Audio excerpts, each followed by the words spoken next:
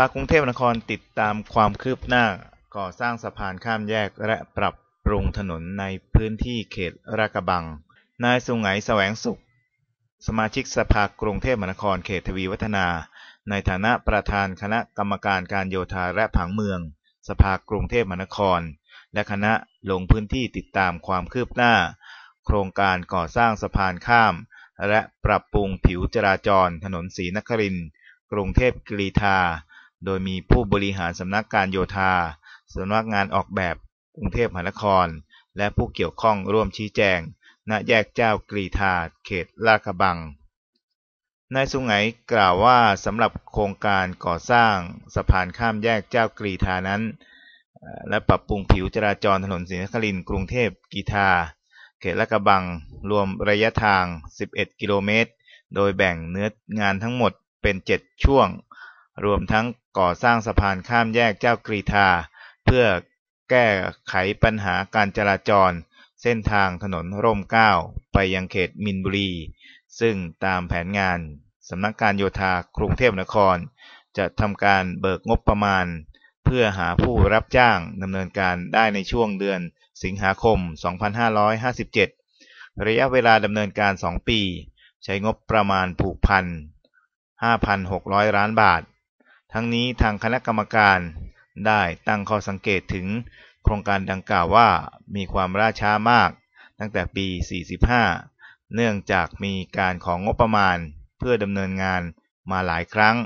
ในการเวรคืนที่ปรับปรุง และก่อสร้างถนนในการแก้ไขปัญหาการจราจร และเชื่อมถนนสายฝั่งตะวันออก แต่ก็ยังไม่สามารถดำเนินการได้เสร็จตามแผน เนื่องจากมี การของงบประมาณเพื่อดำเนินการมาหลายครั้งในการเวรคืนที่ปรับปรุงและก่อสร้างถนนในการแก้ปัญหาการจราจร และเชื่อมถนนสายฝั่งตะวันออก แต่ก็ยังไม่สามารถดำเนินการได้แล้วเสร็จตามแผนรวมรวมทั้งพบว่าที่ผ่านมาทางหน่วยงานมีอุปสรรคและปัญหาล่าช้าในการเวรคืนที่ดิน รวมทั้งถนนที่มีปัญหาสภาพสุดตัวในหลายจุด ดังนั้นหากมีการได้งบประมาณไปในในระยะแรก ผู้บริหารควรเร่งดำเนินการแก้ไขปัญหา และเร่งปรับปรุงให้แล้วเสร็จโดยเร็ว รวมทั้งควรพิจารณาในการก่อสร้างสะพานข้ามแยกเจ้ากรีธาว่ามีประโยชน์ในการแก้ไขปัญหาการจราจรได้หรือไม่ ซึ่งคณะกรรมการจะนำโครงการก่อสร้างสะพานข้ามแยกเจ้ากรีธาและปัญหาอุปสรรคการดำเนินการ เข้าที่ประชุม เพื่อหารือกับคณะกรรมการในการพิจารณาความเหมาะสม ในการจัดสรรงบประมาณเพื่อให้ประโยชน์สูงสุด ในการแก้ไขปัญหาจารในการแก้ไขปัญหาจราจรในพื้นที่ จากนั้นทางคณะกรรมการยังได้ลงพื้นที่ตรวจสะพานข้ามคลองหนองปลือ เขตรากระบัง ซึ่งทางสำนักการโยธา มีแผนที่จะดำเนินการก่อสร้าง สะพานขึ้นใหม่ทดแทนสะพานเดิม ที่มีความสูง และระยะทางไม่เหมาะสม เพื่อแก้ปัญหาการจราจร ในบริเวณใกล้เคียง วงเงินงบประมาณ 70 ล้านบาท ซึ่งขณะนี้กำลังอยู่ในช่วงประเมินราคากลาง เพื่อของงบประมาณในการว่าจ้างผู้รับเหมามาดำเนินการ อย่างไรก็ตาม ทางคณะกรรมการจะติดตามความคืบหน้าของหน่วยงานเพื่อ นำมาพิจารณาร่วมกับสมาชิกสภากรุงเทพมหานคร เพื่อร่วมแก้ไขปัญหาและผลักดันงบประมาณต่อไป ทีมข่าวสภากรุงเทพมหานครรายงาน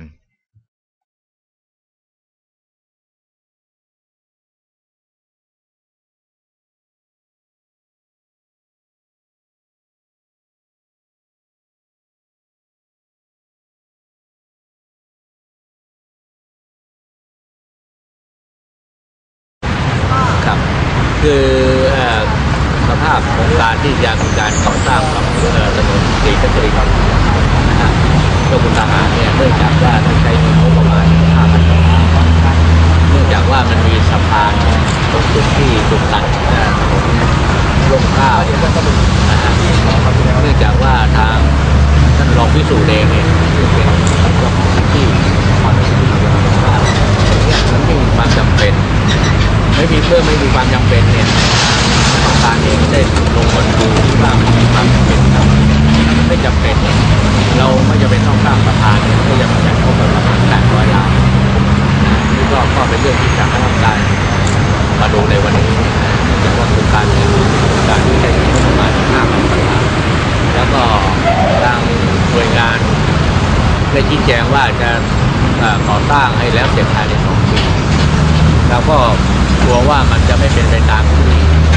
แผนที่วางไว้ก็สองปีที่จะสร้างเนื่งจากส่วนหนึ่งใช้เงินงบประมาณ5,000ล้านนะครับตรงนี้ก็คือที่เราเป็นห่วงกันเพราะฉะนั้น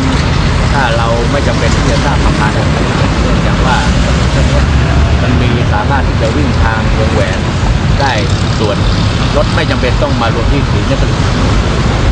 ซึ่งอย่างมันมาหาไม่ไกลมากนี่ ก็เป็นเหตุผลส่วนหนึ่งที่ว่าจำเป็นไม่จำเป็นเรื่องของเอ่อคือผมเพิ่มเติมอย่างนี้ท่านประธามานเดินเดินท่านผรองมเรียนว่าถนนสายที่สร้างมาประมาณ 10 ปีแล้วไม่ได้เปิดใช้วันนี้ชำรุดแล้วแล้วงบประมาณจะมีต่อเนื่องการแก้แบบอะไรกันมาตลอดเวลาแล้วที่เราเองเนี่ยเราต้องการความเจริญ แต่ตรงนี้เนี่ยเราบอกว่าเพียงแต่ใช้สัญญาณไฟของแยก ไม่จำเป็นต้องต้องใช้สะพานก่อสร้างที่มีปัญหามากแล้วการที่จะส่งจุดนี้ออกไปนั่นน่ะถ้าเกิดเรามองในรอบด้านทั้งด้านทิศเหนือทิศใต้ทิศตะวันออกเนี่ยมันก็จะไปติดในในถนนสายต่างๆ เราส่งไปแล้วก็ไปติด เพราะฉะนั้นประโยชน์เกิดขึ้นไม่ได้ แล้วในหลักการในการแก้ไขปัญหาจราจรเนี่ยมันจะต้องมีการชะลอไว้บนถนนบ้างถ้าเกิดคุณส่งผ่านไปแล้วคุณไม่ไปตลอดยาวออกต่างจังหวัดไปเลยเนี่ย มันจะไม่ได้ผล ซึ่งให้ไปสังเกตสะพาน เอาดูสะพานเป็นเยี่ยมสวนลุมพอส่งข้ามมันมาติดอีกด้านหนึ่งนะสะพานพระรามแปดพอส่งก็ไปติดข้ามฝั่งนู้นเพราะฉะนั้นมันจะได้แก้ไขปัญหาความสะดวกนิดเดียวนั่นเอง แต่เราเสียเงินมหาศาลแล้วตะวันออกที่ผ่านไปเนี่ยเจ้าคุณทหารข้ามไปเนี่ยอีก300 เมตรเท่านั้นเองสำนักการโยธามาก่อสร้างสะพาน ข้ามกลางถนน และให้มีการเลี้ยวเข้าสถานีบรรจุอีพอรถไฟไปแล้ว ถามว่าวันนี้เราก็มีตรงนั้นเราจะสร้างโดยเสียเงินทุนเท่าไหร่ในเมื่ออการที่จะอำนวยความสะดวกในเบื้องต้นเนี่ยคุณยังทำไม่ได้เลย แล้ววันนี้ตรงนี้จะต้องทำผมบอกว่าถ้าเผื่อจะทำตรงนี้อีกสิปียังทำก็ได้ แต่ให้การใช้บริการจากศรีนครินทร์มาจนถึงตรงนี้ให้ใช้การเสร็จก่อน เอาเงินตรงนี้ไปใช้แล้วเอาที่จะมันจะส่งผ่านมาหรืออย่างที่ประธานบอกว่าเรามีถนนบ้างไปอินสายนอก แล้วเราทำไปตรงนี้เนี่ยเป็นทางด้านตะวันตกเนี่ยเราก็จะไปจดถนนมอเตอร์เวย์แล้วก็มีสายนอก มันก็จะหมุนไปทางด้านรามอินทราได้ แล้วก็มาออกอข้างข้างๆได้ แล้วก็เลี้ยวเข้าถนนร่มเกล้าเลี้ยวเข้าสุวรรณภูมิก็ได้ เพราะนั้นมันจะมีรองรับหรือตรงนี้ไปมีนบุรี มีนบุรีก็ใช้ตรงนี้ได้ เรามีนิคมอุตสาหกรรมและกระบะเขาก็เลี้ยวซ้ายไปได้โดยสะดวก ถ้าเกิดจะมาใช้นิคมซึ่งเป็นแหล่งใหญ่ ถ้าเกิดจะไปสนามบินสุวรรณภูมิก็วิ่งตรงไปเท่านั้นเอง เพราะฉะนั้นตรงนี้เนี่ยมันยังไม่มีความจำเป็นงบประมาณที่เราใช้เนี่ยค่อนข้างสูง เพราะฉะนั้นเอาที่มีความจำเป็นก่อนผมถึงยกตัวอย่างว่าสะพานที่เรายกระดับข้ามไปเนี่ย มันก็จะไปติดข้างหรือเราไปใกล้ๆเนี่ยไปแค่มีนบุรีสุขาพิบาลสามเราทำสะพานยกข้ามไปแยก ยกไปมันก็ไปติดฝั่งโน้นฝั่งโน้นข้ามมาก็ติดฝั่งนี้เพราะฉะนั้นเราถามประโยชน์ของอินเตอร์เชนเนี่ยโดยหลักการแล้วเนี่ยเขาจะไปทำเขตรอบนอกเมืองเขตในทางหลวงที่จะส่งผ่านจังหวัดจังหวัดต่อจังหวัดไปไม่ใช่ในนี้